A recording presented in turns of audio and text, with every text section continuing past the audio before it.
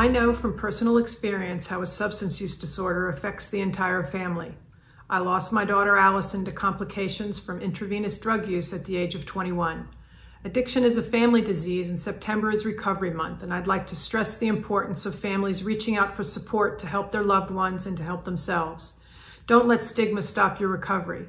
Addiction does not discriminate, and stigma is fueling an American public health crisis. Reduce stigma by changing the conversation from stigma to empathy, and recovery is possible.